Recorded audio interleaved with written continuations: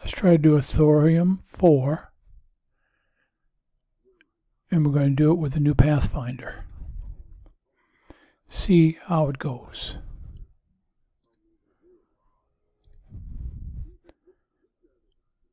First thing we're going to do, we're going to bring in the Proteus. Put him down here. It's good right there. Put him on hold. Bring in 10 Pathfinders and put them on hold. Now we're going to try to bring them in here inside the circle. Spread them out just a hair.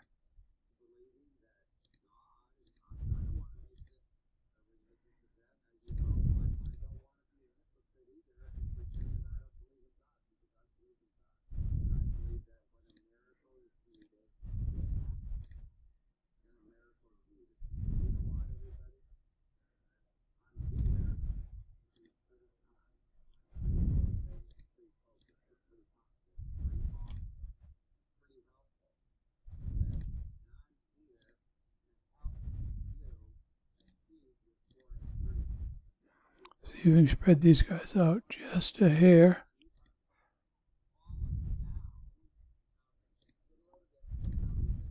This is the tricky part.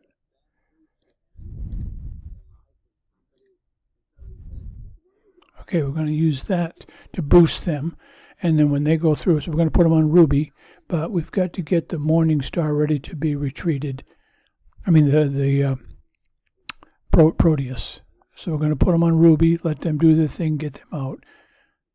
So they're going to get the boost from the Proteus. We're going to make the Proteus go retreat, retreat. Come on. Retreat. There you go. Okay, those guys have got as much as they can get. Get them out of there. Now they didn't get the they, they won't kill air, but they'll kill everything else. So now we'll bring Proteus back in and we'll finish the rest with fighter.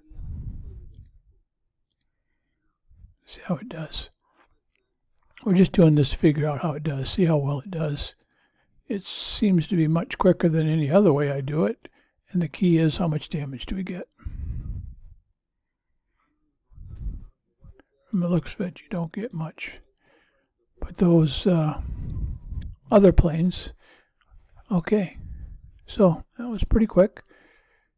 Didn't take too long. Now here's the key. How much damage did we get? Take him home. This will tell us immediately. Start the repairs. 11 minutes. Not the end of the world, but I don't usually get 11 minutes damage. But it's a live and learn proposition.